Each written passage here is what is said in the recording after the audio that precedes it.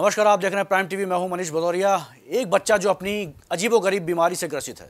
मासूम बच्चे को स्पाइनल मस्कुलर एंट्रोफी यानी S M A type one की नाम की बीमारी है। बच्चे के माता पिता उसे बचाने के लिए हर तरह से गुहार लगा रहे थे। बच्चे के इलाज में 10 लाख नहीं, बल्कि 16 करोड़ रुपए की ज़रूरत है। कुछ महीनों में मासूम की मदद के लिए कई लोगों ने अपने हाथ भी आगे बढ़ाए। खास बात यह है सीएम योगी ने भी बच्चे के माता पिता से मुलाकात की है। पैसे को इकट्ठा हो रहा है, पर बच्चे के लिए इलाज के लिए आगे की प्लानिंग क्या है, इसे जानने के लिए मासूम अनमय के माता पिता के साथ हम जुड़ चुके हैं और आपसे बात भी कराएँगे। आपको बता दें कि ये एस टाइप वन बीमारी एक ऐसी बीमारी है जिसमें बच्चे के उस सांस लेने में, निगलने में और उसके शरीर में जो संचालन होता है तंत्रिका तंत्र तंत्रिका तंत्र का, वो सुचारू रूप से नहीं होता है, जिससे बच्चों को बैठने में, चलने में और सांस लेने में और निगलने में काफ़ी दिक्कतों का सामना करना पड़ता है। इसके लिए जिस इंजेक्शन की ज़रूरत है, वो 16 करोड़ रुपए का इंजेक्शन होता है। जिस जो मंगाने के लिए माता पिता अपनी पूरी जद्दोजहद कर रहे हैं और समाज में पूरे भारत से अपील कर रहे हैं कि उनकी सहायता की जाए। इस खबर पर हमारे साथ जुड़ चुकी हैं अनमय की माता जी अंकिता सिंह। अंकिता जी, हम जानना चाहेंगे कि इस बीमारी के बारे में आप दर्शकों को कुछ बताइए और आपको ये कैसे पता चला कि आपके बेटे को ये बीमारी है? जी। सर, जब मेरा बच्चा पैदा हुआ था तो वो पैदा होने के बाद नौ दस दिन के लिए एनआईसीयू में था तो और काफ़ी कमज़ोर पैदा हुआ था। तो फिर उसके बाद जब वो घर आया तो दो महीने तक वो सोता था। ज़्यादा एक्टिविटी कुछ दिखाता नहीं तो स्टार्टिंग में बच्चे ज़्यादा सोते हैं। तो हम लोग भी इतना ध्यान नहीं दिए कि ये ज़्यादा पैर नहीं पटक रहा है या ऐसा कुछ डेली एक्टिविटी नहीं कर रहा है। जब ये तीन महीने का हुआ और मैं इसको गोद में उठाती थी तो इसका सिर दाएँ बाएँ लुढ़क जाता था, कभी भी स्टेबल नहीं होता था। और मैंने ध्यान दिया कि अपने पैर को भी ज़्यादा चलाता नहीं है, जो कि बच्चे जैसे जैसे बड़े होते वो बहुत ज़्यादा किक करते हैं। तो ये वैसी किकिंग नहीं करता था। तो हम लोग को थोड़ा डाउट हुआ तो हम लोग लखनऊ दिखाना शुरू किए। तो वहाँ पे भी कुछ पता नहीं चला डॉक्टरों को उन को लगा कि ऐसे कई कई बच्चों का माइलस्टोन स्लो होता है माइलस्टोन जो होता है। तो हो सकता है ये भी करें आप थोड़ी फिजियोथेरेपी वगैरह कराइए। तो हमने इसकी दो महीने फिजियोथेरेपी कराई लेकिन कुछ हमें फ़र्क दिखा नहीं। आपको अंकिता जी तो कभी पता चला कि आपके बच्चे को ये बीमारी और ये डायग्नोस कहाँ पे हुआ? आप इसको कहाँ कहाँ लेके गए थे आप? शायद आप दिल्ली भी दिखाए थे इनको सर हाँ जी जी जब हमें यहाँ से फ़ायदा नहीं हुआ तो हम इसको दिल्ली सर गंगा राम में ले गए दिखाने के लिए।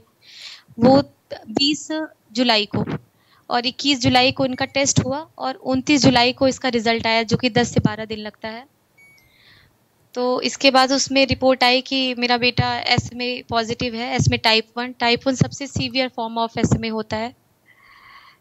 जी। आपके बेटे को सांस लेने में और निकलने में भी समस्याओं का सामना करना पड़ रहा था? जी सर इसकी सबसे बड़ी प्रॉब्लम यही है कि जो एस एसमे टाइप वन के बच्चे होते हैं उनको उनकी मेजर प्रॉब्लम ये होती है कि वो सांस ले नहीं पाते हैं। और अगर उनको टाइम से इंजेक्शन नहीं लगता है तो वो उनका दो साल तक जीना मुश्किल है। अंकित जी आपने प्रशासन से भी अपील की आपने योगी जी से भी अपील की आपने वहाँ के विधायक सांसदों से भी आपने मुलाकात की है। उन्होंने भी आपको आश्वासन दिया है साथ में फ़िल्म कलाकारों ने भी जिसमें सोनू सूद भी हैं उन्होंने भी आपकी काफ़ी मदद करी है जिसमें मुझे जानकारी में जहाँ तक आ रहा है कि कम से कम अस्सी लाख के आसपास का पेमेंट भी आपको भारत से मिला है उनकी अपील पर। और अब तक आपके पास एक करोड़ तेईस लाख के आसपास का पेमेंट आ चुका जो कि अभी बहुत छोटी रकम है सोलह करोड़ तक पहुँचने के लिए। थोड़ा सा बताइए कि कैसे इसकी शुरुआत हुई कैसे आपने इस मुहिम को आगे बढ़ाया?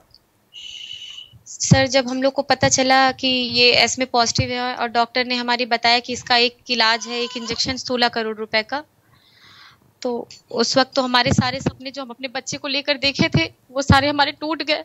सही बात मैं समझ सकता हूँ कि इतना सोलह करोड़ रुपए बहुत बड़ी रकम होती है कैसे व्यवस्था की जाएगी? हम मध्यम परिवार के लिए सोलह करोड़ तो हम सपने में भी नहीं जानते उसमें ज़ीरो कितना होता है। फिर डॉक्टर ने बताया कि मतलब उन्हें भी पता था कि 16 करोड़ एक बहुत बड़ी रकम है तो उन्होंने कहा कि, मैंने पूछा, मेरे पास कितना टाइम है?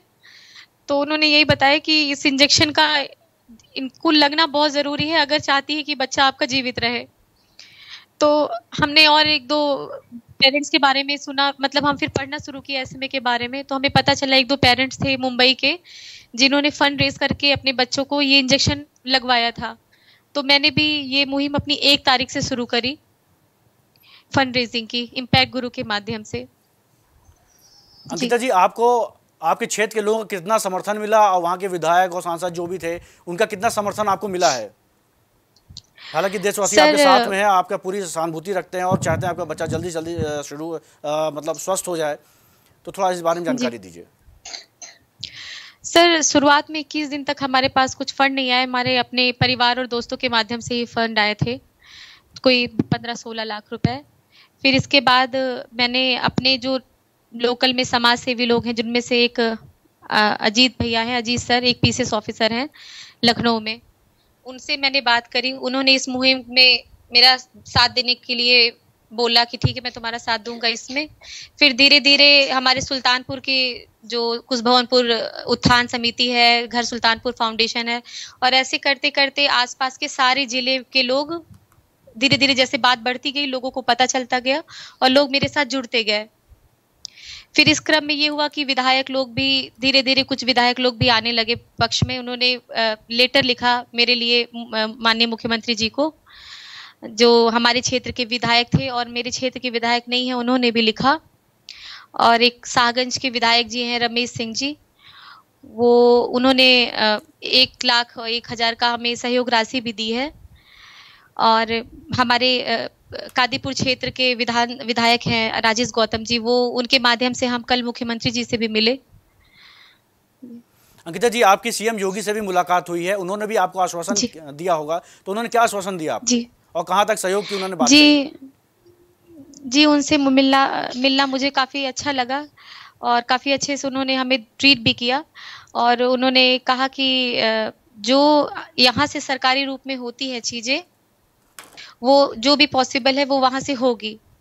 और उन्होंने विधायक राजेश गौतम जी से भी कहा कि आप इनकी, इस मुहिम में मदद करिए। इनसे जो भी बन पड़े, आप लोगों से इनकी मदद करिए और इस मुहिम को आगे बढ़ाइए ताकि बच्चे का अच्छे से उपचार हो सके। और उन्होंने बच्चों को खिलाया भी, अपने हाथ से चॉकलेट भी दिया। और बोले कि आप इसका उपचार कराइए, बच्चा ठीक हो जाएगा।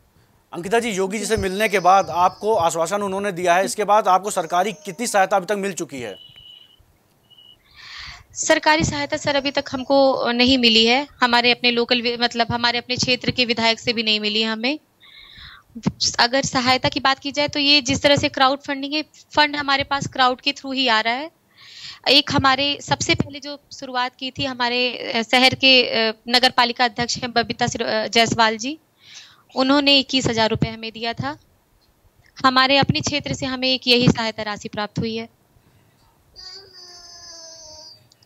और फ़िल्म अभिनेता सोनू सूद जी हैं उन्होंने हमारे लिए अपील की। उनके अपील के बाद हमारी मुहिम को बहुत तेज़ी मिली और एक जो ट्रस्ट होता है कि हाँ ये मामला फ्रॉड नहीं है सत्य है जिससे हमारे मुहिम में बहुत तेज़ी मिली और हमारा पैसा भी काफ़ी तेज बढ़ा है।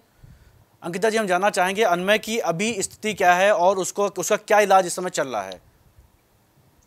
सर अनमय की स्थिति ये है कि अनमय का धीरे धीरे मसल क्योंकि ये डी जनरेशन की प्रोसेस होती है इसमें। हर सेकेंड हर मिनट इनके मसल्स का डी जनरेशन हो रहा है। तो उसको एक्टिव रखने के लिए इसकी कोई और दवा नहीं है उस 16 करोड़ इंजेक्शन के अलावा। तो इसको एक्टिव रखने के लिए मसल एक फिजियोथेरेपी हम लोग करते हैं। डेली घर में भी करते हैं और बाहर भी कराते हैं। जी।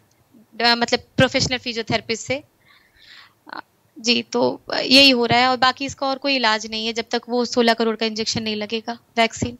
ये आपको डॉक्टर ज़रूर ये बताए होंगे कि 16 करोड़ का जो इंजेक्शन जो लगना है इसको कब तक किस अवधि तक इसको लग जाना चाहिए?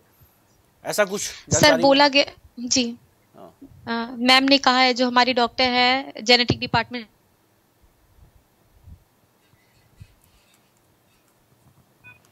उन्होंने कहा कि ये इंजेक्शन जितनी जल्दी, जल्दी लगेगा, लगेगा।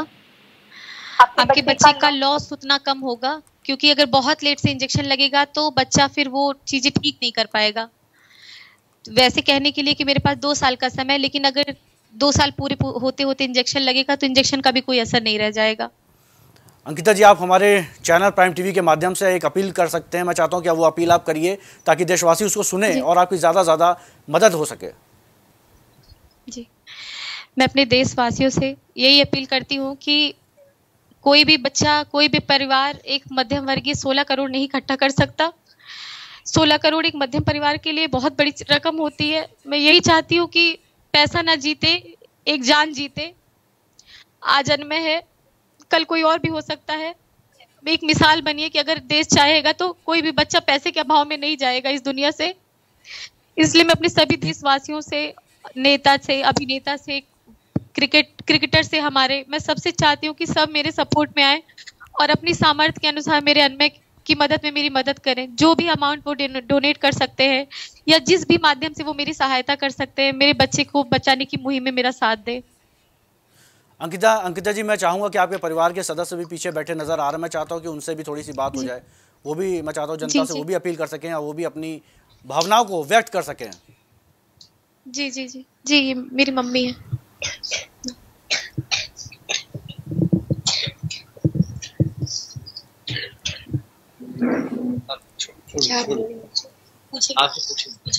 इस समय हमारे साथ अंकिता जी के परिवार के हेलो परिवार के माता जी जुड़ी हैं। माता जी आप क्या अपील करना चाहेंगी दर्शकों से? और क्या आप विचार हैं आपके लेकर अनमय को लेकर कि आप कितनी जल्दी चाहती हैं कि वो स्वस्थ हो जाए? कुछ बताइए।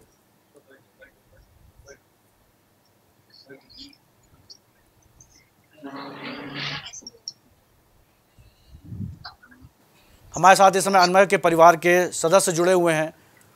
और मैं जानना चाहूँगा कि माता जी आप क्या सोचती हैं? अनमय को कितनी जल्दी स्वस्थ हो जाना चाहिए और देशवासियों से क्या अपील करना चाहती हैं आप?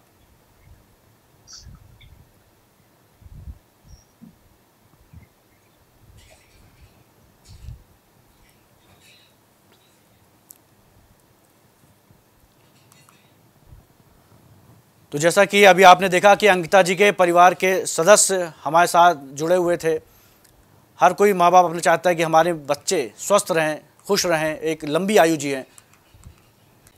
आपको इस बीमारी के बारे में बताना चाहूँगा कि ये बीमारी ब्रिटेन में सबसे ज़्यादा पाई जाती है और ये अनवार्षिक बीमारी है। ये कहीं ना कहीं से माँ बाप से ट्रांसफ़र होती है। ऐसे में कि जो बीमारी होती तीन टाइप की होती है इस बीमारी का इंजेक्शन ब्रिटेन में ना बन के अमेरिका में ही बनता है और इसको, इस इंजेक्शन को वहाँ से यहाँ लाने के लिए पूरी इस बीमारी में सबसे ज़्यादा जो रोगी होते हैं वो ब्रिटेन में ही पाए जाते हैं। आपको बता दें, हर माता पिता के लिए अपने बच्चे बहुत प्यारे होते हैं। और जैसा कि आप देख रहे हैं, अनमय को आज पूरे भारत से, पूरे विदेश से, हर जगह से, पूरे देशवासियों से एक 16 करोड़ की इंजेक्शन की ज़रूरत है। सवा अरब की जनसंख्या वाले देश में अगर बूंद बूंद करके भी करके भी एक छोटा सा अमाउंट दिया जाएगा तो ज़ाहिर सी बात है, हम इस बच्चे क्या, बहुत से बच्चों की जान बचा सकते हैं। सोलह करोड़ का इंजेक्शन कोई बहुत बड़ी रकम नहीं है इन भारतवासियों के लिए। वो चाहें तो एक आराम से इन चीज़ों को हम उनके लिए उपलब्ध करा सकते हैं, किसी का जीवन बचा सकते हैं।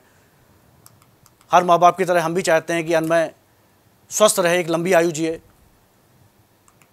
जैसा कि आपने देखा कि इन्होंने एक भाव भीनी अपील श्रद्धापूर्ण अपील देशवासियों से करी है कि उनके बच्चे को बचाने के लिए एक 16 करोड़ के इंजेक्शन की ज़रूरत है जिसके लिए छोटा छोटा अंशदान सभी को कर, सभी करें जिससे वो हम उसकी जान बचा सकें।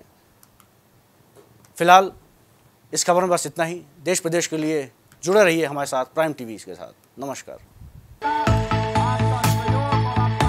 कुछ आप देख रहे हैं प्राइम टीवी सच साहस सरोकार।